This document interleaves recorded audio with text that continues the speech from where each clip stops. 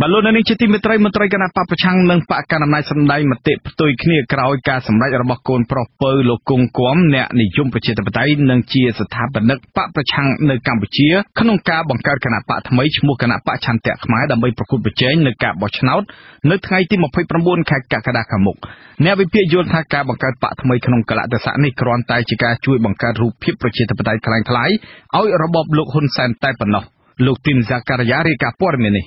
ការប្រកាសបង្កើតបកថ្មីរបស់លោកកុងម៉ូនីកាបានបង្ហាញពីការបែកបាក់របស់គណៈបកសង្គ្រោះជាតិក៏ប៉ុន្តែគណៈបកកណ្ដាលអំណាចវិញបានសម្ដែងក្តីត្រេកអរនិងគាំទ្រទៅវិញអនុប្រធានគណៈបកសង្គ្រោះជាតិលោកអេងឆៃអៀងបានសរសេរនៅលើទំព័រ Facebook ផ្ទាល់ខ្លួនរបស់លោកថាជំរឿចិត្តរបស់មនុស្សពិតជាមិនអាចវាស់បានមែនខណៈជំរឿទឹកសមុទ្រគេនៅតែអាចវាស់បាននោះសំណេររបស់លោកអេងឆៃអៀងបន្តថាយ៉ាងណាមិញចិត្តអ្នកនយោបាយក៏ដូច្នោះដែរ ចិត្តពីដំបូងធ្វើនយោបាយដើម្បីសង្គ្រោះជាតិទាំងអស់គ្នាក៏ប៉ុន្តែដល់ពេលសង្គ្រោះជាតិជួបឧបសគ្គបានប្រែចិត្តទៅជាសង្គ្រោះគ្រួសារឬទ្រព្យសម្បត្តិទៅវិញទោះបីជាលោកអេងឆៃអៀងសរសេរសារមិនសម្ដែងចំកូនប្រុសរបស់លោកកុងគំដែលជាអ្នកនយោបាយជើងចាស់តស៊ូនៅក្នុងគណៈបកប្រឆាំងជាច្រើនទសវត្សរ៍ជាមួយលោកសំរងស៊ីយ៉ាងណាក្តី ប៉ុន្តែសាររបស់លោកអេងឆៃអៀងនៅពេលនេះហាក់ចង់សម្ដែងទៅកូនប្រុសរបស់លោកកុងគំដែលបង្កើតបកថ្មីនៅគណៈគណៈបកសង្គ្រោះជាតិកំពុងតែស្វះស្វែងរកការអន្តរាគមន៍ពីសហគមន៍អន្តរជាតិដើម្បីចូលរួមការបោះឆ្នោតនៅឆ្នាំ2018នេះ រីឯអ្នកនាំពាក្យគណៈបកប្រជាជនកម្ពុជាវិញលោកសុកអេសានសរសេរនៅក្នុងបណ្ដាញសង្គមស្វាគមន៍ការបង្កើតបកថ្មីរបស់កូនប្រុសលោកកុងគំដើម្បីចូលរួមប្រកួតនៅក្នុងការបោះឆ្នោតនាពេលខាងមុខលោកសុកអេសានបន្ថែមថាការបង្កើតគណៈបកថ្មីនេះបញ្ជាក់យ៉ាងច្បាស់ថានៅកម្ពុជាសិទ្ធិនយោបាយរបស់ប្រជាពលរដ្ឋត្រូវបានបើកទូលាយស្របតាមស្មារតីនៃរដ្ឋធម្មនុញ្ញហើយលទ្ធិប្រជាធិបតេយ្យនៅកម្ពុជាក៏នៅតែរស់រវើកនិងស្រស់បំព្រងដដែល ទោះបីជាគណៈបកប្រឆាំងចង់យកលទ្ធិប្រជាធិបតេយ្យនៅកម្ពុជាមកធ្វើជាកម្មសិទ្ធិផ្ទាល់ខ្លួនយ៉ាងណាក៏ដោយកាលពីថ្ងៃទី25មេសាកូនប្រុសពៅលោកកុងពំគឺលោកកុងម៉ូនីកាបានចេញមកបង្កើតបកថ្មីឈ្មោះឆន្ទៈខ្មែរអគ្គលេខាធិការរងនៃគណៈបកឆន្ទៈខ្មែរលោកហេងយឿនមានប្រសាសន៍ថាការបង្កើតបកថ្មីនេះដោយសារមិនសង្ឃឹមទៅលើការរស់ឡើងវិញនៃគណៈបកសង្គ្រោះជាតិខណៈដល់ការបោះឆ្នោតបានខាត់ចិត្តមកដល់លោកបន្តថាបកថ្មី មិនទាន់បានគិតអំពីប្រភពធនធានថវិកាសម្រាប់ទ្រទ្រង់បកនោះទេប៉ុន្តែមានការគាំទ្រយ៉ាងពេញទំហឹងពីលោកកុងគំជាឪពុកលើសពីនេះទៀតការបង្កើតបកថ្មីនេះក៏ជានិមិត្តរូបនៃគណៈបកសង្គ្រោះជាតិដូច្នេះលោកសង្ឃឹមថានឹងមានសម្លេងគាំទ្រចាស់ដើម្បីផ្លាស់ប្តូររបបលោកហ៊ុនសែននិងស្ដារលទ្ធិប្រជាធិបតេយ្យឡើងវិញទន្ទឹមគ្នានេះលោកហ៊ីងយឿនបន្តថាលោកមិនខ្វល់អំពីការរិះគន់យ៉ាងណានោះទេ គេថាអីថាទៅប៉ុន្តែយើងអត់មានលំអទេយើងចូលរួមទៅប្រកួតប្រជែងចង់បានកៅអីពិតប្រកបហើយយើងចង់ឈ្នះទៀតដើម្បីផ្លាស់ប្ដូររបបដើម្បីផ្លាស់ប្ដូរគេហៅមានការផ្លាស់ប្ដូរហើយយើងចង់ធ្វើឲ្យមានលទ្ធិប្រជាធិបតេយ្យពិតប្រកបសេរីពហុបកតំណាងរាជគណៈបកសង្គ្រោះជាតិលោកកុងបូរ៉ាដែលជាបងប្រុសបង្កើតរបស់លោកកុងម៉ូនីកាក៏ប្រកាសគាំទ្រការបង្កើតគណៈបកថ្មីរបស់ប្អូនប្រុសលោកនេះដែរលោកកុងបូរ៉ាមានប្រសាសន៍ថានៅក្នុងដំណាក់កាលនេះគឺជាដំណាក់កាលអស់សង្ឃឹម ដែលថាគណៈបកសង្គ្រោះជាតិនឹងអាចចូលប្រកួតប្រជែងការបោះឆ្នោតវិញបានដូច្នេះបងប្រុសរបស់លោកបង្កើតបកថ្មីនេះដើម្បីប្រមូលអ្នកប្រជាធិបតេយ្យមកវិញដោយភាពអំណត់តាមដានទាំងស្ថានភាពនយោបាយក្នុងប្រទេសនិងក្រៅប្រទេសឃើញថាពេលវេលាខ្លីហើយมันមានដំណោះស្រាយនយោបាយហើយសង្ឃឹមថាវត្តមានគណៈបកសង្គ្រោះជាតិអាចនឹងមានវត្តមានចូលរួមក្នុងការបោះឆ្នោតបានដូច្នេះហើយខ្ញុំថាគួរតែមានគ្រប់គ្រង ក្រុមក្មេងដែលជាលលកក្រោយហ្នឹងដើម្បីចូលរួមក្នុងការប្រកួត នៅពេលបោះឆ្នោតជាតិខាងមុខឆ្នាំ2018ហ្នឹងបាទទោះបីជាយ៉ាងនេះក្តីប្រធានក្រុមនៃវិភាគវ័យក្មេងលោកហុងវិទូលើកឡើងថាការបង្កើតបកថ្មីនេះគឺជាសិទ្ធិរបស់មនុស្សគ្រប់រូបក៏ប៉ុន្តែវាអាចផ្ដល់ផលប៉ះពាល់ខ្លះដែរក៏ប៉ុន្តែលោកអះអាងថាមិនធំដុំឡើយម្យ៉ាងវិញទៀតលោកយល់ឃើញថាការបង្កើតបកថ្មីជាបន្តបន្ទាប់ ដោយគ្មានមូលដ្ឋានច្បាស់លាស់នោះវាគ្រាន់តែជាការចូលរួមលំអប្រជាធិបតេយ្យคล้ายៗរបស់លោកហ៊ុនសែនតែប៉ុណ្ណោះ ចំពោះការប្រកាសដាក់បាក់ហ្នឹងចេះតែបកាច្រើនទៅច្រើនទៅដោយមិនមានមូលដ្ឋានច្បាស់លាស់វានឹងធ្វើឲ្យចង់មិនចង់វាទៅជាអាចលំអដាក់បាក់កម្មណាចដើម្បីឲ្យគេហ្នឹងមានអន្តរជាតិទទួលស្គាល់វិញព្រោះតាមថាតែមានការចូលរួមច្រើនបើតាមច្បាប់នៃប្រទេសកម្ពុជាបើសិនជាមានពហុបកចូលរួមគឺថាការបោះឆ្នោតហ្នឹងវាអូខេអញ្ចឹងចង់មិនចង់បើសិនយើងបង្កើតមកដល់លក្ខណៈពិតប្រាកដហើយមិនមានឆន្ទៈពិតប្រាកដទៅតាមឈ្មោះគណៈបកទេវានឹងធ្វើឲ្យមានផលប៉ះពាល់ទៅដល់គណៈបកផ្សេងៗដែលគាត់មិនបានចូលរួមបោះឆ្នោតបាន លោកកុងគំជាអតីតប្រធានគណៈបកសំរងស៊ីនិងជាមន្ត្រីជាន់ខ្ពស់គណៈបកសង្គ្រោះជាតិលោកមានកូនប្រុស3នាក់ក្នុងនោះមានលោកកុងបូរ៉ាលោកកុងសុភាដែលជាតំណាងរាស្ត្រនៃគណៈបកសង្គ្រោះជាតិក៏ប៉ុន្តែអ្នកទាំង3ត្រូវបានរបបលោកហ៊ុនសែនហាមមិនឲ្យធ្វើនយោបាយរយៈពេល5ឆ្នាំដោយឡែកលោកកុងម៉ូនីកាលោកហ៊ីងយឿនអះអាងថាក៏ជាអតីតមន្ត្រីជាន់ខ្ពស់គណៈបកសង្គ្រោះជាតិដែរក៏ប៉ុន្តែមិនត្រូវបានរបបលោកហ៊ុនសែនហាមឃាត់សិទ្ធិធ្វើនយោបាយឡើយ ក្រោយពីរំលាយគណៈបកសង្គ្រោះជាតិដែលជាដៃគូប្រកបប្រជែងស្មើកម្លាំងគ្នាជាមួយគណៈបកកណ្ដាលអំណាចនោះមានគណៈបកតូចៗចំនួន2ត្រូវបានបង្កើតឡើងជាបន្តបន្ទាប់គឺគណៈបកខ្មែរតែមួយបង្កើតឡើងដោយប្អូនប្រុសបង្កើតរបស់លោកមនិតកែមលីគឺលោកកែមរិទ្ធិសិទ្ធនិងគណៈបកឆន្ទៈខ្មែរបង្កើតឡើងដោយកូនប្រុសរបស់លោកគង់គំនេះទោះបីជាយ៉ាងនេះក្តីការបង្កើតបកថ្មីតែងតែទទួលរងនឹងការរិះគន់ពីសាធារណជនថា ជាល្បិចនយោបាយរបស់របបលោកហ៊ុនសែនដើម្បីបំបាយសម្លេងឆ្នោតរបស់គណៈបកប្រឆាំងតែប៉ុណ្ណោះខ្ញុំទីនសាការីយ៉ាអាស៊ីសេរីពីរដ្ឋធានី Washington លោកនាងជាទីមេត្រីស្ថានទូតអាមេរិកអះអាងថាការបន្តជួយកម្ពុជាក្នុងវិស័យដោះមីនផ្ដោតតែទៅលើជំនួយមនុស្សធម៌និងការកសាងវិជ្ជាជីវៈជំនាញប៉ុណ្ណោះសហរដ្ឋអាមេរិកនៅចុងខែមេសានេះបានផ្ដល់អាវការពារគ្រាប់ឈ្មោះ Kevlar ចំនួន10និងម៉ាស៊ីនពិសេសចំនួន2សម្រាប់ដោះគ្រាប់បែកដល់យោធាកម្ពុជាដើម្បីយកទៅប្រើប្រាស់ក្នុងការវឹកវើការពារនិងដើម្បីប្រសិទ្ធភាពនៃកងកម្លាំងថែរក្សាសន្តិភាពកម្ពុជា អាវនិងម៉ាស៊ីនទាំងនោះគឺនឹងត្រូវប្រើដោយមជ្ឈមណ្ឌលជាតិសម្រាប់ថែរក្សាសន្តិភាពដោះគ្រាប់មីននិងកាកសំណល់ជាតិផ្ទុះពីសង្គ្រាមដើម្បីជួយទាហានកម្ពុជាដែលចូលរួមនៅក្នុងបេសកកម្មថែរក្សាសន្តិភាពរបស់អង្គការសហប្រជាជាតិនៅទ្វីបអាហ្វ្រិកនិងនៅប្រទេសលីបង់ មន្ត្រីនាំពាក្យស្ថានទូតអាមេរិកលោក David Hoza ប្រាប់អាស៊ីសេរីតាមសារអេឡិចត្រូនិកថាបើទោះបីជាមានការផ្អាកការធ្វើសមយុទ្ធយោធារួមគ្នានិងការសម្រេចចិត្តរបស់សេតវិមានប្រធានាធិបតីសហរដ្ឋអាមេរិកក្នុងការកាត់ផ្តាច់កម្មវិធីជំនួយយោធាខ្លះក៏ដោយការចូលរួមរបស់សហរដ្ឋអាមេរិកនៅកម្ពុជានៅពេលនេះគឺផ្ដោតតែទៅលើជំនួយមនុស្សធម៌និងការកសាងវិជ្ជាជីវៈជំនាញរបស់យោធាកម្ពុជាប៉ុណ្ណោះលោក David Hoza ឲ្យដឹងថាមានមន្ត្រីយោធាកម្ពុជាមួយចំនួនបច្ចុប្បន្នកំពុងសិក្សាជាមួយនឹងជនជាតិអាមេរិកនៅតាមសាលាយោធារួមមានទាំងបណ្ឌិតសភាយោធា Naval Academy នៅសហរដ្ឋអាមេរិកផងដែរលោកថាយោធាអាមេរិកនឹងបន្តធ្វើការលើគម្រោងជំនួយមនុស្សធម៌នានានៅកម្ពុជាដូចជាការសាងសង់សាលារៀននិងមន្ទីរពេទ្យព្រមទាំងជួយបណ្ដុះបណ្ដាលយោធាកម្ពុជាដើម្បីត្រៀមខ្លួនក្លាយជាកងទ័ពថែរក្សាសន្តិភាពរបស់អង្គការសហប្រជាជាតិថែមទៀត លោកនាងជាទីមេត្រីអង្គការឃ្លាំមើលពិភពលោក Global Witness សហការជាមួយនឹងគេហទំព័រ Open Corporate របស់ក្រុមហ៊ុន Trinan ដែលមានមូលដ្ឋាននៅប្រទេសអង់គ្លេសបានប្រកាសដាក់ឲ្យប្រើប្រាស់ជាផ្លូវការនៅគេហទំព័រ opencorporate.com លាតត្រដាងពីឈ្មោះបុគ្គលដែលជាម្ចាស់ និងជាអ្នកគ្រប់គ្រងក្រុមហ៊ុនឬសាជីវកម្មធំធំជាច្រើននៅក្នុងប្រទេសកម្ពុជាសេចក្តីប្រកាសព័ត៌មានរបស់អង្គការឃ្លាំមើលពិភពលោកផ្សាយកាលពីថ្ងៃទី25ខែមេសាឲ្យដឹងថាការដាក់ឲ្យប្រើប្រាស់គេហទំព័រនេះនឹងជួយឲ្យអ្នកកសែតនិងសកម្មជនសិទ្ធិមនុស្សលាតត្រដាងអំពីអំពើពុករលួយនិងអំពើរំលោភច្បាប់នានា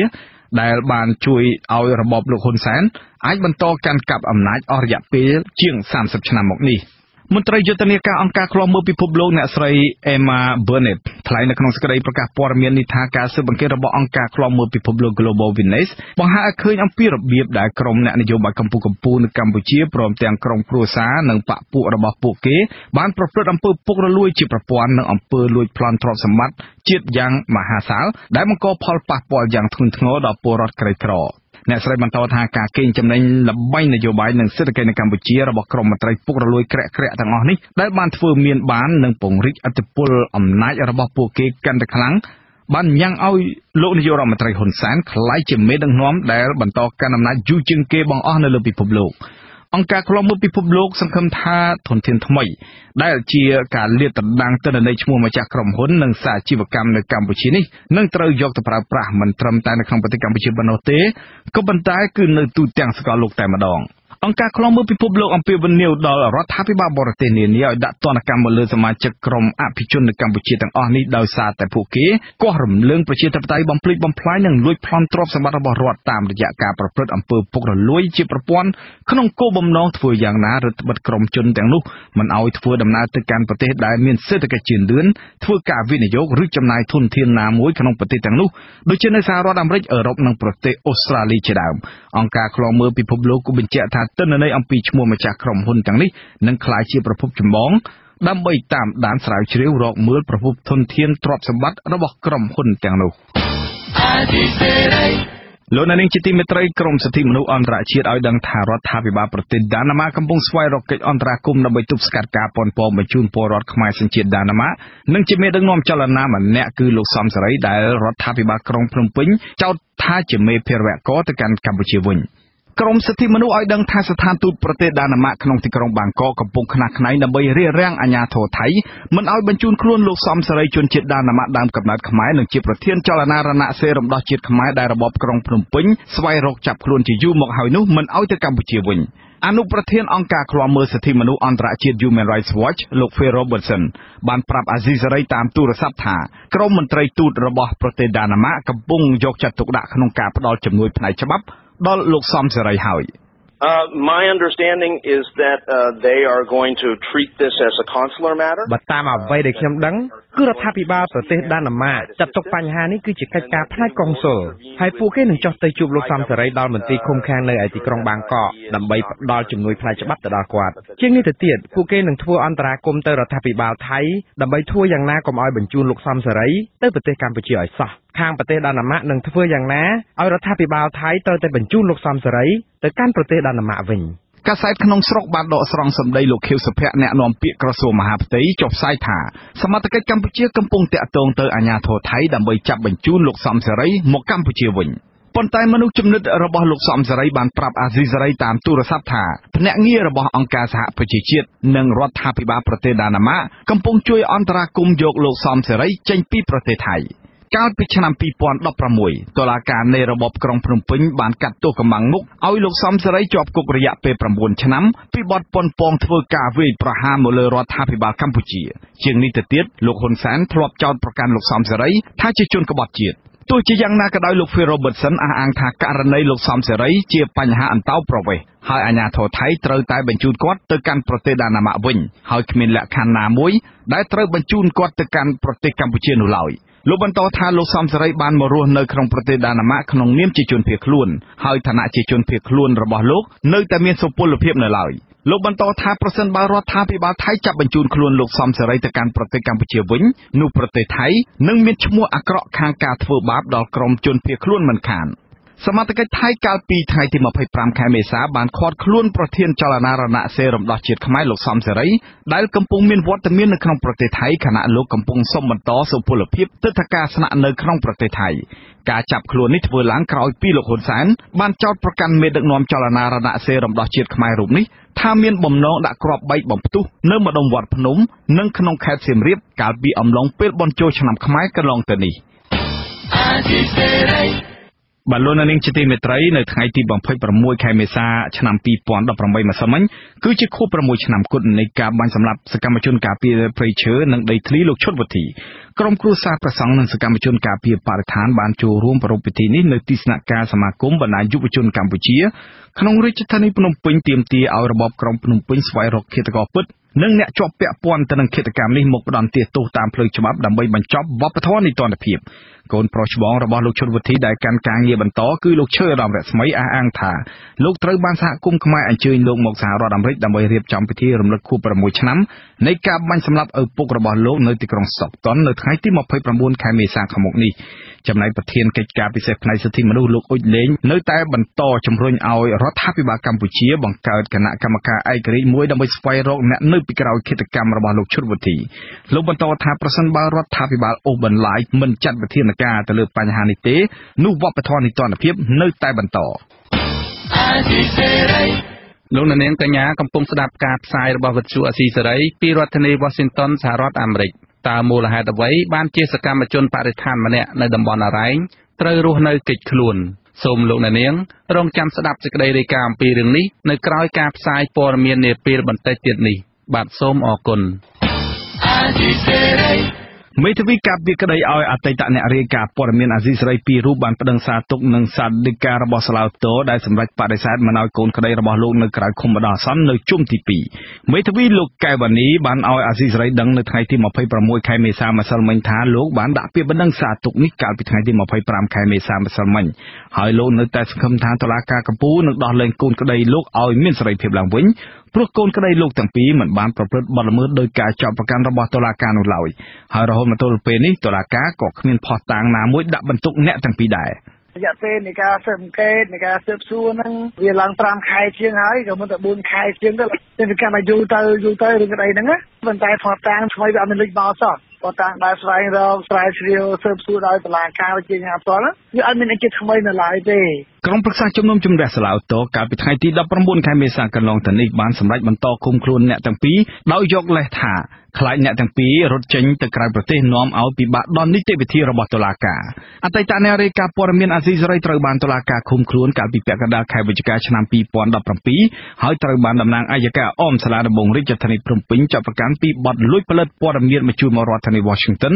តាមមាត្រា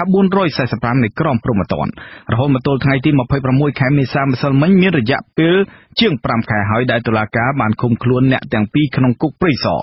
លោកអ៊ុនឈិននិងលោកយៀងសធិរិនបានបដិសេធការចោទប្រកាន់របស់តុលាការ អង្គការអ្នកកាសែតគ្មានព្រំដែន The Reporters Without Borders កាលពីថ្ងៃពុធទី25ខែមេសា បានចេញរបាយការណ៍មួយបង្ហាញថាសេរីភាពសារព័ត៌មាននៅកម្ពុជាក្នុងរបបលោកហ៊ុនសែនបានធ្លាក់ចំណាត់ថ្នាក់យ៉ាងខ្លាំងមិនធ្លាប់មានពីមុនមកដោយសារតែការធ្វើទុកបុកម្នេញមកលើប្រព័ន្ធផ្សព្វផ្សាយឯករាជ្យនិងរដ្ឋបិទសិទ្ធិសេរីភាពក្នុងការបញ្ចេញមតិ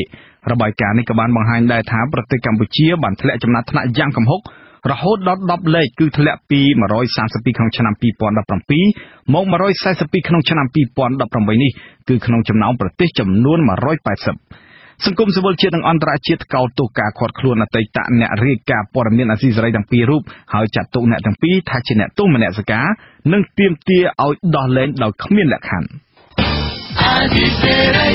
អាញាធរឃុំជំនាប់កំពុងគិតគូរពីសំណើរបស់ក្រមប្រជាពលរដ្ឋដែលស្នើសុំឲ្យអាញាធររក្សាទុកស្នាក់ការសហគមន៍ស្ទឹងអារ៉ៃឲ្យនៅដដែលដើម្បីបម្រើដល់វិស័យទេសចរធម្មជាតិរកចំណូលសម្រាប់សហគមន៍នៅពេលអវសានវិទ្យនៃការតម្រូវឲ្យរុះរើស្នាក់ការសហគមន៍នោះបានកន្លងផុតទៅហើយក្តីសកម្មជនការពារបរិស្ថានតំបន់អារ៉ៃបានស្នើសុំឲ្យអាញាធរកុំរុះរើស្នាក់ការនោះព្រោះវាជាប្រភពចំណូលសំខាន់មួយទៀតសម្រាប់ប្រជាសហគមន៍លោកវ៉ែនសុមេតរាយការណ៍ព័ត៌មាននេះ អាជ្ញាធរឃុំជំនាប់មិនទាន់តម្រូវឲ្យសហគមន៍តំបន់អរ៉ែងរុះរើស្នាក់ការសហគមន៍របស់ពួកគាត់ដោយការបញ្ជាក់នៅក្នុងលិខិតជូនដំណឹងរបស់រដ្ឋបាលឃុំនៅឡើយទេ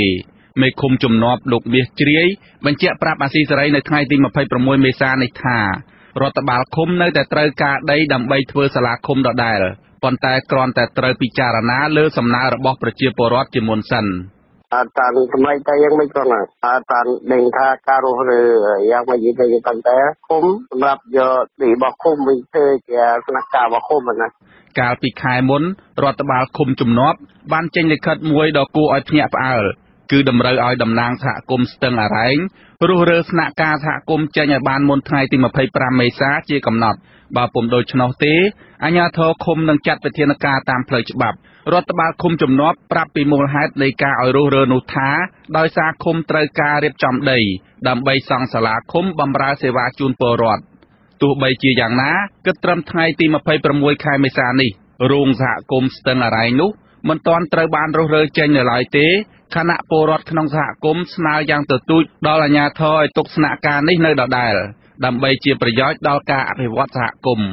ប្រធានសហគមន៍ព្រៃឈើជំនាប់ លោកវ៉ែនវ៉នថ្លែងថាប្រសិនបើអាជ្ញាធរសម្រេចមិនរុះរើស្នាក់ការសហគមន៍មែននោះប្រជាពលរដ្ឋនឹងមានអំណរសាទរហើយវានឹងធ្វើឲ្យទំនាក់ទំនងរវាងប្រជាពលរដ្ឋនិងអាជ្ញាធរមានភាពល្អប្រសើរនិងមានការទុកចិត្តគ្នាទៅវិញទៅមកទៅទៅគាត់ពិចារណាទៅឃើញថាបើសិនជាមិនមានការរុះរើអានឹងខ្ញុំគិតថាវាល្អមែនទែនដូចឲ្យមានការពិនិត្យឃើញមានការយល់ចិត្តពីប្រជាពលរដ្ឋនិងអាជ្ញាធរមានការផ្ដល់ទំនុកចិត្តកាន់តែច្រើន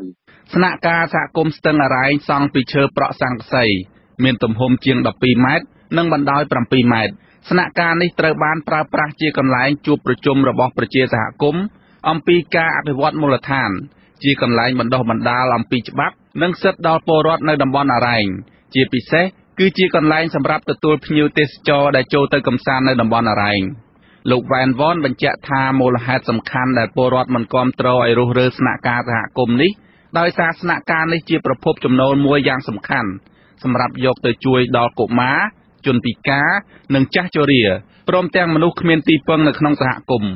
បើមិនវាមិនមានការរស់រានស្ថានភាពបរដ្ឋមានអារម្មណ៍ស្ថានភាពគឺមានការយល់ចំពោះពួកគាត់អំពីទុកលំបាកដែលការកន្លងមកដែលគាត់មានទុកលំបាកជួបប្រទះនៅបញ្ហាជីវភាពអញ្ចឹងខ្ញុំគិតថាចំពោះប្រជាជនក៏មិនខុសពីខ្ញុំដែលគាត់ជាសប្បាយចិត្តដែលមិនជាអ្នកទៅយល់អំពីអារម្មណ៍របស់គាត់យល់អំពីទុកលំបាករបស់គាត់ ការសាងសង់ស្នាក់ការសហគមន៍ស្ទឹងអរ៉ែងនេះហើយដែលបានធ្វើឲ្យលោកវ៉ែនវ៉នត្រូវបានអាជ្ញាធរចាប់ខ្លួនកាលពីខែតុលាឆ្នាំ2015កន្លងទៅតុលាការខេត្តកោះកុងបានកាត់ទោសឲ្យលោកជាប់ពន្ធនាគារមួយឆ្នាំពីបទប្រមូលអនុផលព្រៃឈើដោយគ្មានការអនុញ្ញាតតែទោសនោះត្រូវព្យួរក្រោយពេលលោកជាប់ឃុំអស់រយៈពេល75ខែ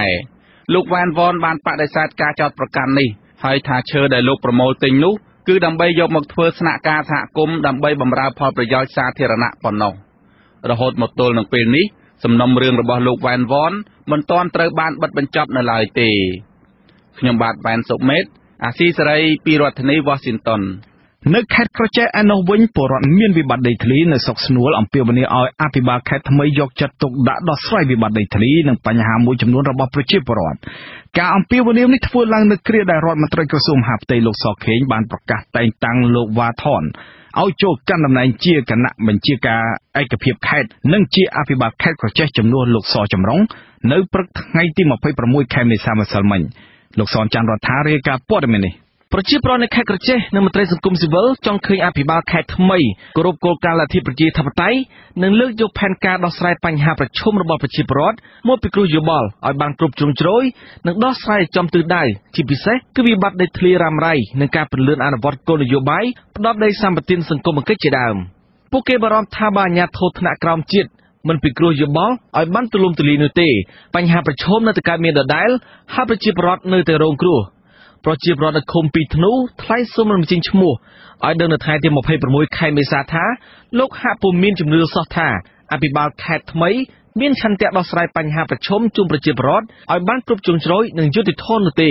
ព្រោះវិបត្តិដីធ្លីរវាងប្រជាពលរដ្ឋនិងអ្នកមានអំណាចគឺជាឧបសគ្គនាំឲ្យអភិបាលខេត្តហាក់មានការខ្លាចញញើតមិនហ៊ានអនុវត្តច្បាប់ លោកថាអភិបាលខេត្តមុនមុនមកពីគណៈបកប្រជាជនកម្ពុជា បានអនុវត្តការងារស្តីងគ្នាគឺគិតតែប្រយោជន៍បកពួកច្រើនជាងប្រយោជន៍របស់ប្រជាពលរដ្ឋនិងរើសអើងនិន្នាការនយោបាយលោករំពឹងថាអភិបាលខេត្តថ្មីនឹងគិតគូរផលប្រយោជន៍របស់ប្រជាពលរដ្ឋជាធំជាជាងក្រុមហ៊ុនឯកជននិងគោលការណ៍លទ្ធិប្រជាធិបតេយ្យបាទខ្ញុំចង់ឲ្យអាបាលខេត្តថ្មីហ្នឹងដើម្បីឲ្យជួយ ផ្សាយដីធ្លីប្រជាពលរដ្ឋនឹងឲ្យឆាប់ឆាប់អឺសមាជខេត្តថ្មីនឹងជួយប្រជាពលរដ្ឋមានតែប៉ុណ្្នឹងទេបើមិនជួយគាត់ពួកគាត់ស្លាប់អស់ហើយតែមិនបាច់ចាំពួកគាត់ទេតែខ្ញុំនឹងក៏ស្លាប់ដែរព្រោះដីអត់មានផងក្រុមហ៊ុនយកហើយហើយតាមដលងហើយយកផ្លាញអស់ហើយតាមដលងព្រឹកលុកតិចទៀតនោះហើយប្រជាពលរដ្ឋចូលមិនបានផងឥឡូវចូលបានទេក្នុងទឹកដីហ្នឹងគេមិនឲ្យចូលហ្មងចំណែកប្រជាពលរដ្ឋដែលរស់នៅឃុំកំពង់ចាមស្រុកសម្បូរខេត្តក្រចេះ លោកវ៉ាន់ត្រៃយល់ថាបលល្មើសព្រៃឈើក្នុងតំបន់ព្រៃឡង់និងបលល្មើសនេសាទនៅតែកើតមានគួរឲ្យព្រួយបារម្ភហេតុនេះលោកចង់ឃើញអភិបាលខេត្តថ្មីស្វែងរកដំណោះស្រាយបញ្ហានេះធ្វើយ៉ាងណាផ្ដល់កិច្ចគាំពារធនធានធម្មជាតិនិងទប់ស្កាត់បលល្មើសនេសាទឲ្យបានគ្រប់ជ្រុងជ្រោយលោកសង្កេតឃើញថាអាញាធរមិនបានអនុវត្តច្បាប់បលល្មើសនេសាទឲ្យបានពេញលេញនោះទេដែលនាំឲ្យជនល្មើសមិនរៀនចាលនិងមិនខ្លាចច្បាប់ហើយបលល្មើសនេសាទនៅតែបន្តកើតមាន។ ពេលគាត់ឡើងជាតំណែងអញ្ចឹងយើងចង់ឲ្យគាត់ជួយជួយដើម្បីទប់ស្កាត់បទល្មើសព្រៃឈើកុំឲ្យកាប់បំផ្លាញព្រៃឈើព្រៃទុនធានធម្មជាតិយើងវាកាន់ខ្សោយទៅខ្សោយទៅអញ្ចឹងណាហើយនឹងអាបទល្មើសនេសាទបទល្មើសនេសាទឯនេះមួយវាថាចាប់បានទៅវាថាខំសហគមន៍ឬខំឆ្នាំតលេគាត់ចាប់បានគាត់ស្គាល់ទៅឲ្យសាលាការដោះស្រាយទៅគុំខាំងខ្លួនអីមួយថាយកទៅគុំមិនទៅបានបាន2 3ខែឃើញចេញវិញកពូឆក់ទៀតអីចឹងណា ក្នុងពិធីតែងតាំងអភិបាលខេត្តថ្មីលោកសខេងបានជំរុញឲ្យលោកវ៉ាថនដោះស្រាយបញ្ហាប្រឈមរបស់ប្រជាពលរដ្ឋដោយយុត្តិធម៌និងជៀសវាងការទាមទារសេវាកម្រៃខុសច្បាប់ធ្វើលិខិតបទដ្ឋាននិងគតិយុត្តនានាលើសពីនេះត្រូវបង្ក្រាបបទល្មើសគ្រឿងញៀនដែលជាអត្តពលអាក្រក់ដល់ជនបទត្រូវហាមមិនឲ្យជួលដីតាមព្រំដែនឲ្យបរទេសត្រូវលុបបំបាត់ការនាំទំនិញចូលនិងចេញខុសច្បាប់និងទៅពិនិត្យឬបង់ពន្ធឲ្យបានត្រឹមត្រូវលោកថាអភិបាលខេត្តថ្មីដែលចូលកាន់តំណែងនេះ បានឆ្លងកាត់បទពិសោធន៍ការងារនិងការសិក្សាច្រើននាយកប្រតិបត្តិអង្គការសម្ព័ន្ធគណនេយ្យភាពសង្គមកម្ពុជាលោកសុនជ័យយល់ថា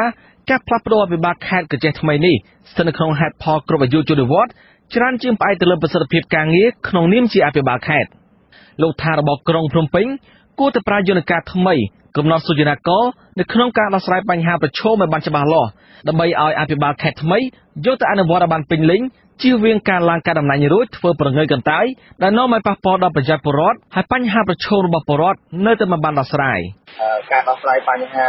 រោគអីឃ្លីអីរបស់ប្រជាពលរដ្ឋហ្នឹងគួរតែជាការកំណត់នៅបរិយាកាសចនាករឲ្យបានច្បាស់លាស់ដើម្បីឲ្យជំនួយខេត្តហ្នឹងយកទៅអនុវត្តធ្វើទៅធ្វើទៅមិនធ្វើទៅឲ្យទៅខ្ញុំវិជារដ្ឋនៅតែខាតបង់ផលប្រយោជន៍ជារដ្ឋនៅតែមានបញ្ហាដដែលនេះគឺគឺជាចំណុចថ្មីមួយដែលយើងចង់ឃើញថាការអនុវត្តការងាររបស់រដ្ឋបាលតាមទៀតនឹងត្រូវធ្វើនៅនៅពេលអនាគតខ្ញុំនៅ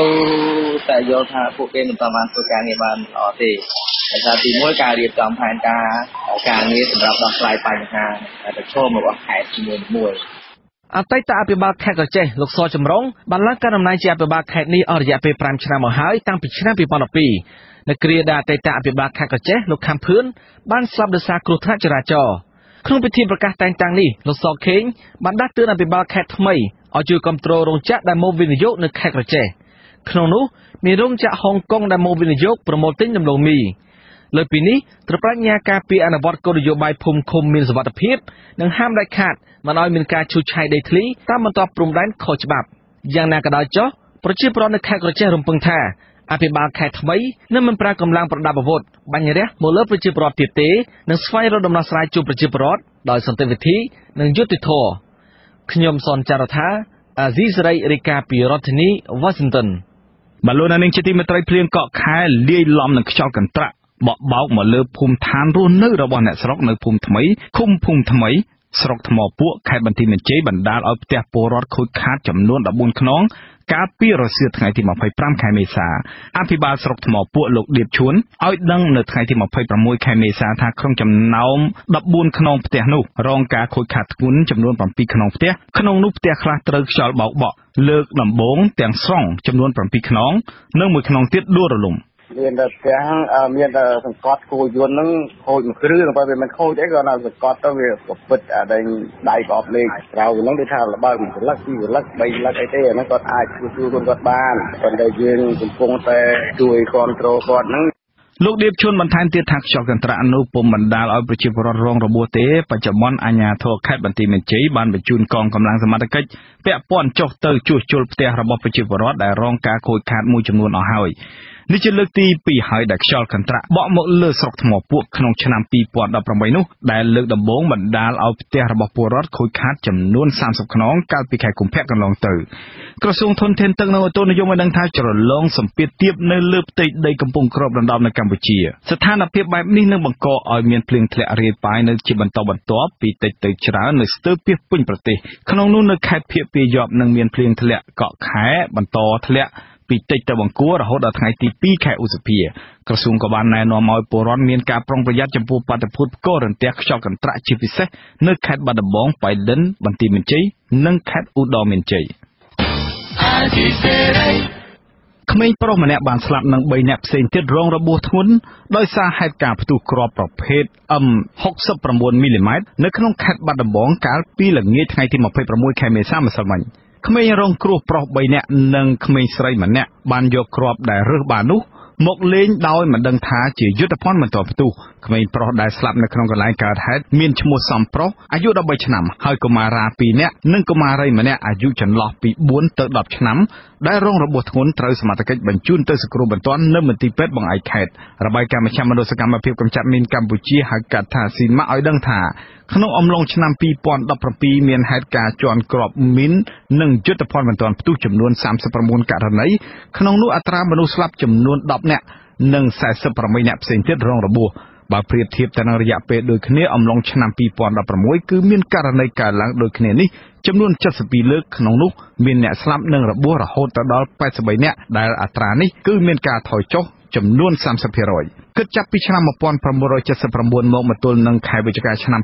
2017ក្របមីននិងក្របមិនទាន់ផ្ទុះបណ្ដាលឲ្យពលរដ្ឋស្លាប់សរុបជិត20000នាក់និងពលរដ្ឋជិត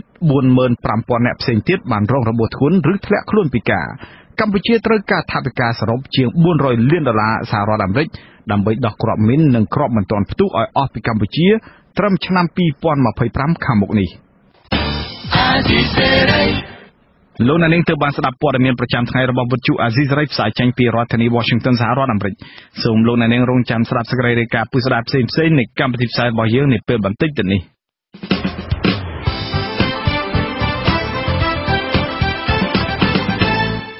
លោកអ្នកនាងកញ្ញាអ្នកស្ដាប់ជាទីមេត្រី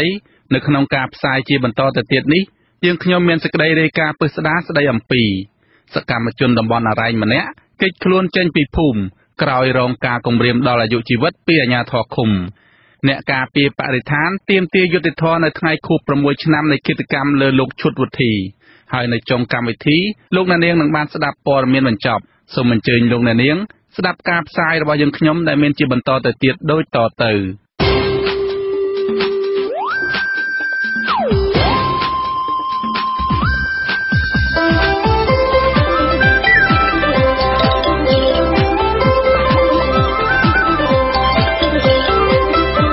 ក្តីរាយការណ៍ពិស្ដា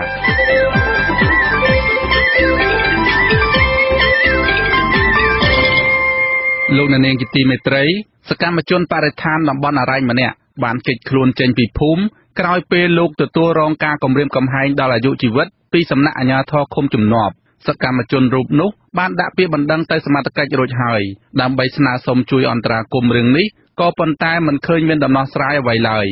មន្ត្រីសិទ្ធិមនុស្សអំពាវនាវដល់មន្ត្រីនគរបាលយុតិធធឲ្យចាត់វិធានការតាមផ្លូវច្បាប់ទៅលើពាក្យបណ្ដឹងរបស់សកម្មជនរូបនោះដើម្បីកុំឲ្យគាត់ត្រូវរស់នៅកិច្ចខ្លួនបែបនេះពីរដ្ឋធានី Washington លោកសេចបណ្ឌិតរាយការណ៍អំពីរឿងនេះសកម្មជនបរិស្ថានតំបន់អរ៉ែងលោកវ៉ែនអែតអះអាងប្រាប់អាស៊ីសេរីថាជំទប់ទី1ឃុំជំនាប់មកពីគណៈបកប្រជាជនកម្ពុជាឈ្មោះស្ទើច័ន្ទបានប្រាប់លោកឲ្យលក់អីវ៉ាន់ឡៃឡុងឲ្យអស់ពីផ្ទះដើម្បីទៅរស់នៅស្រុកខាងប្រពន្ធ បើមិនដូច្នោះទេនឹងត្រូវលាចាកលោកនេះហើយបើទោះបីជាចាកចេញពីស្រុកក៏ដោយក៏នឹងត្រូវជាប់បន្ទាក់គេដែរលោកបញ្ជាក់ទៀតថាលោកមានការភ្ញាក់ផ្អើលនិងព្រួយបារម្ភយ៉ាងខ្លាំងអំពីសុវត្ថិភាពផ្ទាល់ខ្លួន ក្រោយពេលឮអាជ្ញាធរមូលដ្ឋានគំរាមកំហែងលោកបែបនេះមកទៅចាំគាត់បាននិយាយគម្រាមខ្ញុំថាហេតុអីហ្នឹងអត់យូរទេទីទៀតហ្នឹងគេចាក់លោកនេះហើយឈ្មោះហេតុអីហ្នឹងអត់យូរទេពេលថាមិនយ៉ាងនិយាយអញ្ចឹងថាខ្ញុំចិត្តឯងកាលពីមុនគេគាត់ទៅសង្ស័យទេប៉ុន្តែឥឡូវនេះគេដឹងអំពីគំនិតរបស់ចិត្តឯងរួចអស់ហើយទោះបីជាចិត្តឯងរត់ទៅកន្លែងណាក៏ដោយក៏កិច្ចផុតដែរពីព្រោះអីគេបានរៀបបញ្ជាក់រួចហើយទោះបីជារត់ទៅដល់ស្រុកខាងប្រពន្ធក៏ដោយធ្វើការខ្ញុំទឹកភ័យខ្លាំងណាបងពីព្រោះរីការប្រមាថព្រោះលើខ្ញុំវាប្រមាថដល់ការអាយុជីវិតអតីតបេក្ខជនសមាជិកក្រុមប្រឹក្សាឃុំជំនាប់របស់គណៈបកសង្គ្រោះជាតិលោកវ៉ែនអែតអះអាងថាលោកបានធ្វើសកម្មភាពនយោបាយឲ្យគណៈបកសង្គ្រោះជាតិរហូតដល់ពេលដែលគណៈបកនេះត្រូវបានរំលាយកាលពីខែធ្នូចុងឆ្នាំ2017កន្លងទៅលោកបានបញ្ឈប់សកម្មភាពនយោបាយនៅត្រឹមពេលនោះហើយក៏បានងាកមកចូលរួមយ៉ាងសកម្មនៅក្នុងរឿងការពារធនធានធម្មជាតិនិងបរិស្ថានតំបន់អរ៉ែងដោយធម្មតាវិញ ហើយកាលពីដើមខែមេសានេះលោកនិងអ្នកភូមិមួយចំនួនទៀតបានឡើងទៅដាក់ញត្តិនៅក្រសួងអភិវឌ្ឍជនបទដើម្បីសូមឲ្យស្ថាប័នជំនាញមួយនេះជួយអន្តរាគមន៍ពន្លឿនធ្វើស្វ័យអត្តសញ្ញាណជនជាតិដើមភាគតិចតំបន់អរ៉ែងក៏ប៉ុន្តែលោកបាយជាត្រូវបានលោកតើច័ន្ទនិងសកម្មជនគណបកប្រជាជនកម្ពុជាម្នាក់ទៀតឈ្មោះម៉ឺនម៉ែន ចោទប្រកាន់ថាលោកធ្វើសកម្មភាពនយោបាយឲ្យគណៈបកសង្គ្រោះជាតិទៅវិញឈ្មោះមុនមេណាគាត់បាននិយាយចោទប្រកាន់ខ្ញុំថាខ្ញុំឡើងទៅភ្នំពេញអត់មានរឿងអីទេគឺមានតែមកប្រមូលផ្ដុំអារឿងគណៈបកសង្គ្រោះជាតិតែប៉ុណ្ណោះដើម្បីមកប្រមូលផ្ដុំគណៈបកសង្គ្រោះជាតិតាឡើងវិញគាត់និយាយបានចោទប្រកាន់ខ្ញុំអញ្ចឹងណាប៉ុន្តែខ្ញុំអត់បានធ្វើការតែរឿងគណៈបកទេខ្ញុំធ្វើការដើម្បីជំនឿដើមភាពតិចចងតែប៉ុណ្ណឹងលោកយល់ឃើញទៀតថាការគម្រាមកំហែងនេះអាចបណ្ដាលមកពីបុគ្គលទាំងនោះមិនពេញចិត្តលោក ព្រោះលោកធ្លាប់ជាសកម្មជនគណបកប្រឆាំង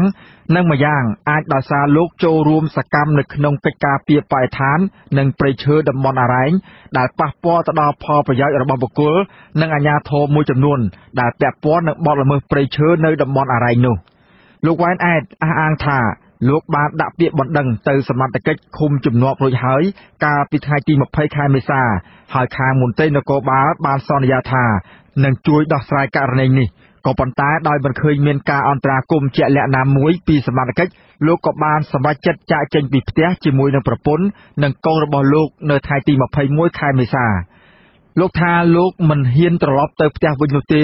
ដរាបណាមិនទាន់មានការដោះស្រាយរឿងនេះចប់សពគ្រប់នោះខ្ញុំមកបដងពោសូមឲ្យសមត្ថកិច្ចប៉ូលីសក្នុងគុំចំណត់ហ្នឹងសូមឲ្យគាត់ហ្នឹងធ្វើការឲ្យបានពេញលេញសូមឲ្យគាត់ជួយចូលយុទ្ធសាស្ត្រឲ្យខ្ញុំបានច្បាស់លាស់ផងពីព្រោះអីខ្ញុំអត់ចង់នៅក្នុងការភ័យខ្លាចអញ្ចឹងទេខ្ញុំរស់នៅជាប្រជាជនអញ្ចឹងខ្ញុំពឹងផ្អែកសន្តិសុខសុវត្ថិភាពហ្នឹងគឺប៉ូលីសហ្នឹងឯងអញ្ចឹងបើសិនជាប៉ូលីសខ្ញុំពឹងពាក់បានទៀតអញ្ចឹងខ្ញុំមិនដឹងថាទៅពឹងពាក់ណាទេអាស៊ីសេរីនៅពុំទាន់អាចតតងសុំការបំភ្លឺរឿងនេះ ពីជំទប់ទី1ឃុំជំនាប់លោកតើច័ន្ទបាននៅឡើយទេ នៅថ្ងៃទី26មេសាចំណែកសមាជិកប៉ុស្តិ៍នគរបាលរដ្ឋបាលឃុំជំនាប់ក៏មិនទាន់អាចតតងបានដូចគ្នាដែរចំណែកមេឃុំជំនាប់លោកមាសជ្រាយថ្លែងថាលោកមិនទាន់បានដឹងរឿងនេះទេ ហើយលោកក៏មិនមានអ្វីពាក់ព័ន្ធនៅក្នុងបញ្ហានេះដែរ លោកអះអាងថានឹងសួរនាំលោកតើច័ន្ទអំពីរឿងគម្រាមកំហែងនេះខ្ញុំអត់តាន់បានបាត់ស្គាល់ណាវិញខ្ញុំអត់តាន់បានដេញលើណាចាំយើងប្រើជ្រាវមកបានយើងដេញរាំងចំណែកប្រធានសហគមន៍ព្រៃឈើឃុំជំនាប់លោកវ៉ានវ៉នអះអាងថា លោកពិតជាបានឮលោកតើច័ន្ទនិយាយគម្រាមលោកវ៉ែនអែតពិតមែននៅក្នុងអំឡុងពេលដែលលោកកំពុងទទួលទានអាហារជុំគ្នា កាលពីថ្ងៃទី17ខែមេសាកន្លងទៅ លោកចាត់ទុកការគម្រាមកំហែងលើលោកវ៉ែនអែត ដែលជាសមាជិកគណៈកម្មការសហគមន៍ជនជាតិដើមភាគតិចជងនៅតំបន់អរ៉ៃនោះថាជាការវាយបំបាក់ស្មារតីសកម្មជនបរិស្ថាន និងជាការគម្រាមកំហែងទៅដល់ប្រជាពលរដ្ឋផ្សេងទៀតនៅក្នុងសហគមន៍របស់លោកលោកបន្តថាបញ្ហានេះនឹងនាំទៅរកដល់ការបែកបាក់សាមគ្គីនៅក្នុងចំណោមពលរដ្ឋជនជាតិដើមភាគតិចជងនៅតំបន់អរ៉ែងត្បិតទាំងលោកតើច័ន្ទនិងលោកវ៉ែនអែតសុទ្ធសឹងតែជាជនជាតិដើមភាគតិចជងនិងធ្លាប់មានទំនាក់ទំនងល្អជាមួយគ្នាតាំងពីដើមរៀងមក វាអាចនឹងប៉ះពាល់ទៅដល់សតិអារម្មណ៍របស់ប្រជាពលរដ្ឋមួយចំនួនដែលគាត់ជាសកម្មជនបរិស្ថានក៏ដូចជាសកម្មជនរបស់គណៈបព្វឆាំងនេះពីមុនមកអញ្ចឹងវាធ្វើឲ្យមានការបារម្ភពីសុខភាពរបស់ខ្លួនមានការផិតភ័យពីសន្តិសុខសុខភាពសង្គមគ្រួសារជាដើមអាញាធរតែងតែដាក់សម្ពាធលើគាត់ចេះថាគាត់នឹងខុសច្បាប់ចេះតែបំភ័យគាត់រឿងផ្សេងផ្សេងអញ្ចឹងទៅខ្លះក៏គាត់បាក់ទឹកចិត្តគាត់អត់ហ៊ានចូលរួមអីចឹងដែរនិយាយទៅគឺប្រឈមការបែកបាក់សាមគ្គីខ្លាំងមែនទែនហ្មងមន្ត្រីប្រឹក្សាច្បាប់គម្រោងពន្ធនាគារនៃអង្គការសិទ្ធិមនុស្សលីកាដូ លោកហួអ៊ីនថ្លែងថាលោកបានទទួលពាក្យបណ្ដឹងមួយច្បាប់ពីលោកវ៉ែនអែតតាក់ទងនឹងការគម្រាមកំហែងនេះហើយហើយលោកគ្រោងនឹងចុះទៅស៊ើបអង្កេតករណីនេះនៅពេលឆាប់ៗខាងមុខលោកយល់ឃើញថានេះជាករណីធ្ងន់ធ្ងរដែលមន្ត្រីរាជការសាធារណៈ ទៅគម្រាមកំហែងប្រជាពលរដ្ឋ ហើយលោកជំរុញឲ្យសមត្ថកិច្ចអន្តរាគមន៍លើពាក្យបណ្ដឹងរបស់លោក វ៉ែនអែតជាបន្ទាន់។ សម្ដេចយុរដ្ឋមន្ត្រីប្រកាសផ្តល់រង្វាន់20000ដុល្លារដល់សហគមន៍ដែលចូលរួមការពារបរិស្ថាននិងធនធានធម្មជាតិតែចំពោះករណីលោកវ៉ាន់អាយនេះគឺត្រូវបានជំទប់ទី1គុំចំណងបានគម្រាមកំហែងមកគាត់រហូតដល់អាយុជីវិតធ្វើឲ្យគាត់មានការភ័យខ្លាចរត់គេចខ្លួនដើម្បីរកកន្លែងសុវត្ថិភាពសម្រាប់គាត់អញ្ចឹងអាជ្ញាធរជាពិសេស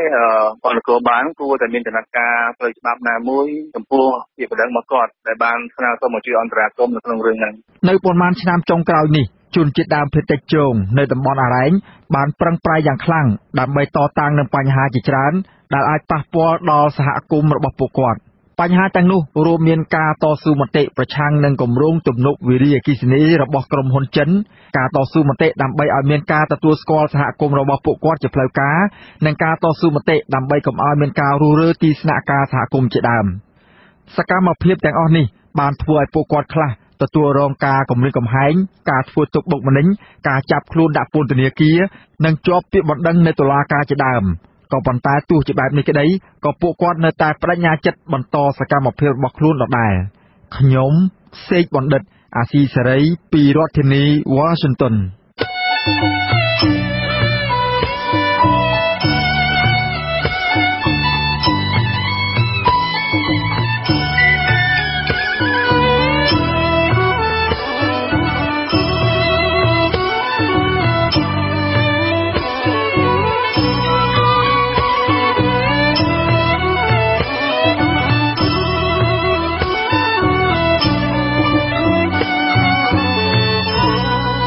អ្នកនាងជាទីមេត្រីថ្ងៃទី26ខែមេសាឆ្នាំ2018នេះជាខួប6ឆ្នាំនៃការបាញ់សម្លាប់លោកឈុតវិធីជាសកម្មជនការពារព្រៃឈើនិងដីធ្លីដ៏សកម្មនៅកម្ពុជាក្រុមគ្រួសារនិងសកម្មជនបរិស្ថានទាមទារឲ្យរបបក្រុងភ្នំពេញស្វែងរកឃាតករពិតនិងអ្នកជាប់ពាក់ព័ន្ធឃាតកម្មមកផ្ដន្ទាទោសតាមច្បាប់ដើម្បីបញ្ចប់វប្បធម៌នីតិរដ្ឋភាព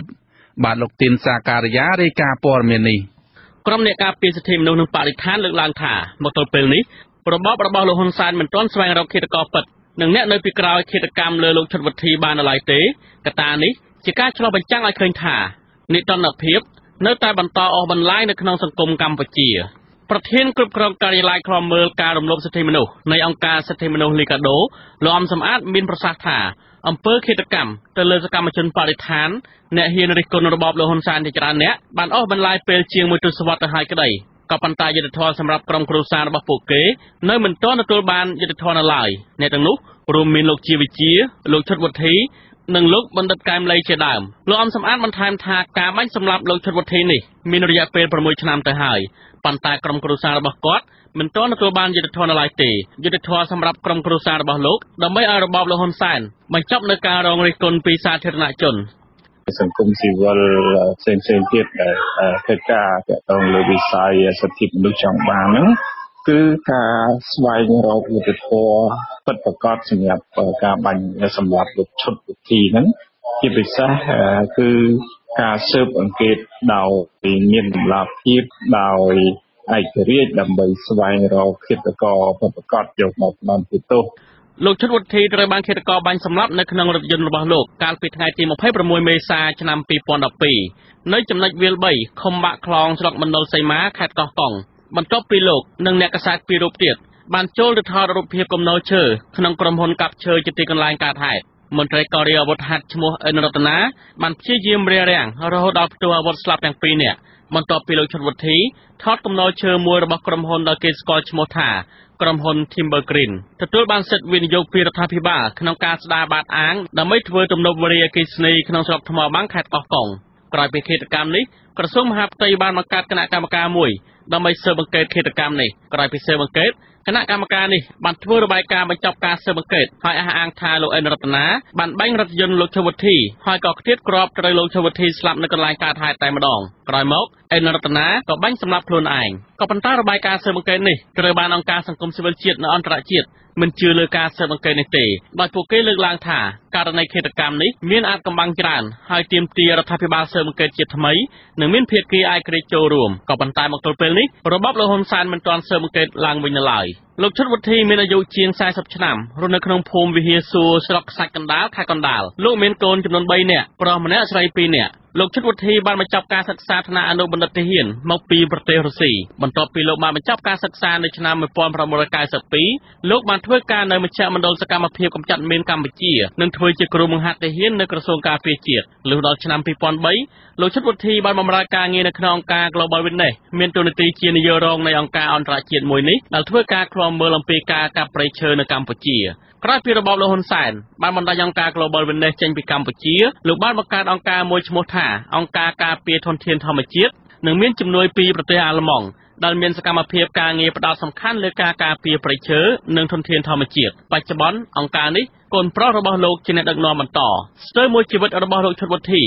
រស់នៅតែក្នុងព្រៃមិនសូវបានជួបក្រុមគ្រួសារឡើយលោកឈុតវុធីមិនមែនជាមនុស្សម្នាក់ដែលមានតែទ្រឹស្ដីនិងអង្គុយតែក្នុងការិយាល័យនោះទេ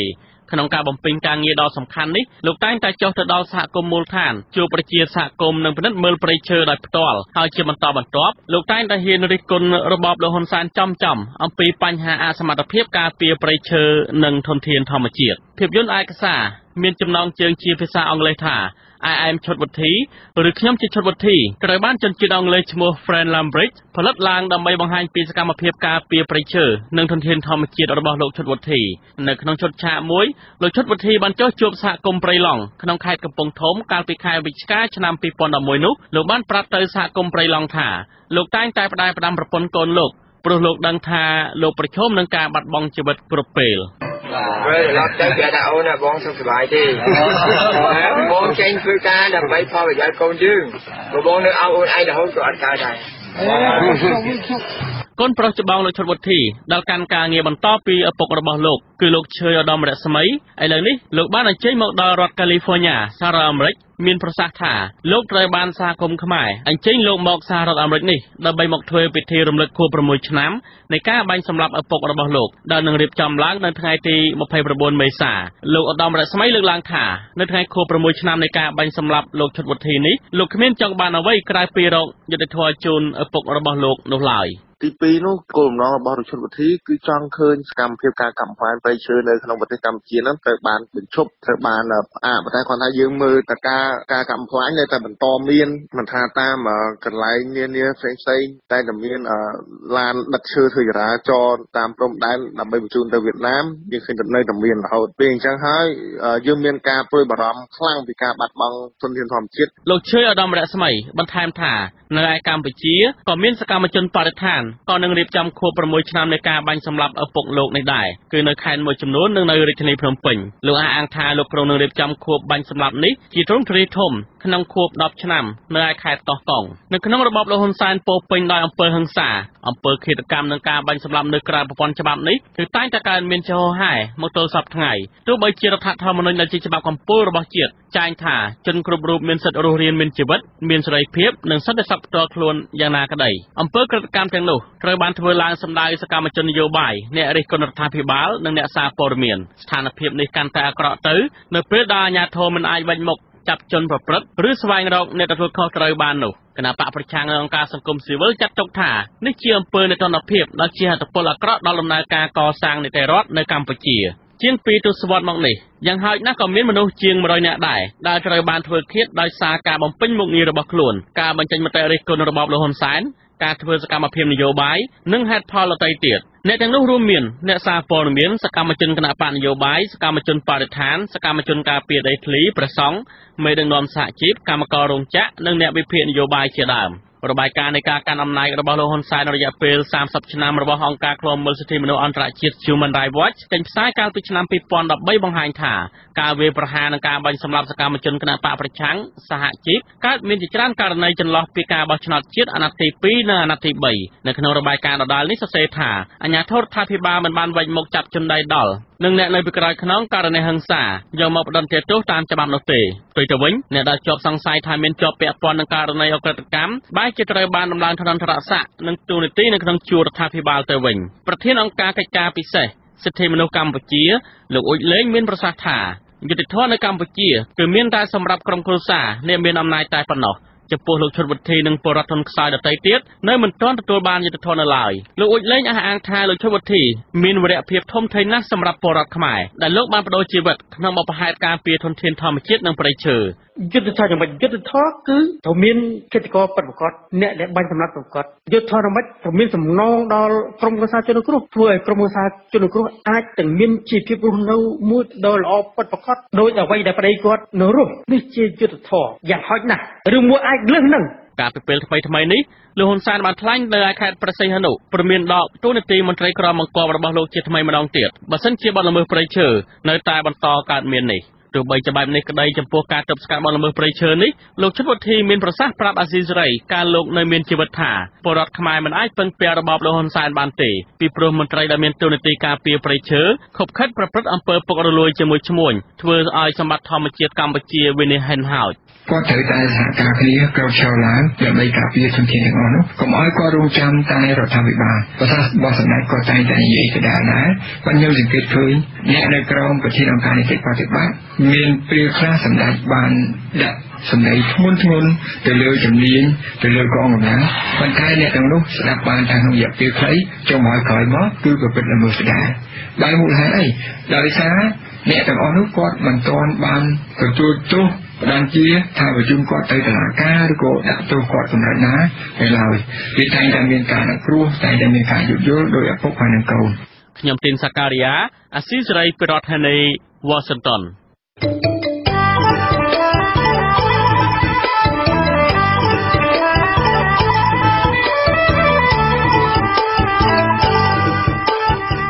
ជាបន្តទៅទៀតនេះខ្ញុំបាទតាំងសារដាសូមជូនព័ត៌មានបញ្ចប់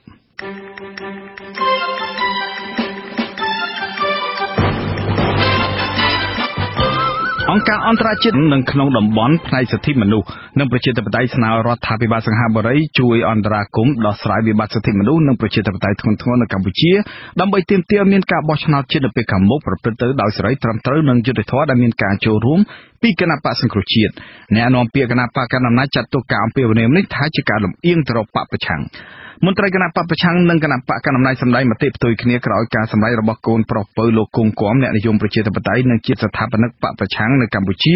ក្នុងការបង្កើតគណៈបកថ្មីឈ្មោះគណៈបកឆន្ទៈខ្មែរដើម្បីប្រគល់ប្រជែងការបោះឆ្នោតនៅថ្ងៃទី29ខែកក្កដាខាងមុខអ្នកវិភាគយល់ឃើញថាការបង្កើតបកថ្មីក្នុងកលៈទេសៈនេះគ្រាន់តែជួយបង្កើតរូបភាពប្រជាធិបតេយ្យคล้ายៗឲ្យរបបលោកហ៊ុនសែនតែប៉ុណ្ណោះ។ ក្រមសិទ្ធិមនុស្សអន្តរជាតិបានដឹងថារដ្ឋាភិបាលប្រទេសដាណាម៉ាកកំពុងស្វែងរកកិច្ចអន្តរាគមន៍ដើម្បីទប់ស្កាត់ការប៉ុនប៉ងបញ្ជូនពលរដ្ឋខ្មែរសញ្ជាតិដាណាម៉ាកនិងជាមេដឹកនាំចលនាម្នាក់គឺលោកសំសេរីដែលរដ្ឋាភិបាលក្រុងភ្នំពេញចោទថាជាមេភេរវករនោះទៅកាន់ប្រទេសកម្ពុជាវិញអាញាធរឃុំជំនាប់កំពុងគិតគូរពីសំណើរបស់ក្រមប្រជាពលរដ្ឋដែលស្នើសុំឲ្យអាញាធររក្សាទុកស្នាក់ការសហគមន៍អរ៉ៃឲ្យនៅដដែលដើម្បីបម្រើដល់វិស័យទេសចរធម្មជាតិ រកចំណូលសម្រាប់សហគមន៍នៅពេលអសានវិទ្យនៃតម្រូវការឲ្យរុះរើស្នាក់ការសហគមន៍បានកន្លងផុតទៅហើយក្តីនោះសកម្មជនការពារបរិស្ថានតំបន់អរ៉ែងស្នើសុំឲ្យអាជ្ញាធរកុំរុះរើស្នាក់ការនេះព្រោះវាជាប្រភពចំណូលសំខាន់មួយទៀតសម្រាប់ប្រជាសហគមន៍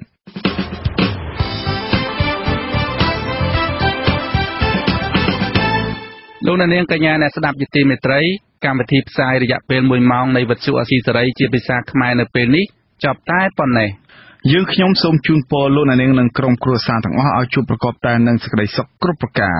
ខ្ញុំបាទវ៉ែនសុមេតខ្ញុំបាទតាំងសារដាព្រមទាំងក្រុមការងារទាំងអស់នៃវិទ្យុអាស៊ីសេរីសូមអរគុណនិងសូមជម្រាបលាបាទសូមជម្រាបលា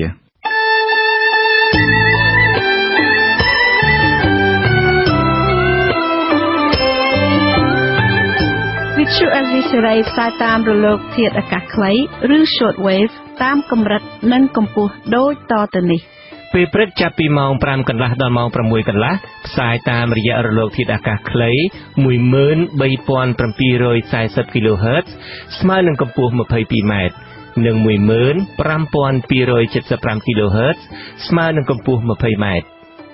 ពេលយប់ចាប់ពីម៉ោង7កន្លះដល់ម៉ោង8កន្លះ តាមរយៈរលកធាតុអាកាសខ្លី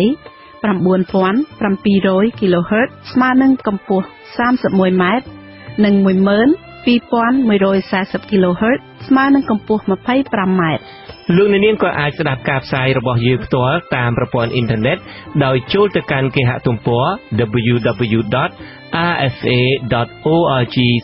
ខ្មែរក្រៅពីនេះ លោកអ្នកនាងក៏អាចអាននិងទស្សនាព័ត៌មានវិទ្យុអាស៊ីសេរីលើទូរស័ព្ទដៃរបស់លោកអ្នកផ្ទាល់សូមលោកអ្នកនាងចូលទៅកាន់បណ្ដាញសង្គម Facebook ដែលមានអាសយដ្ឋាន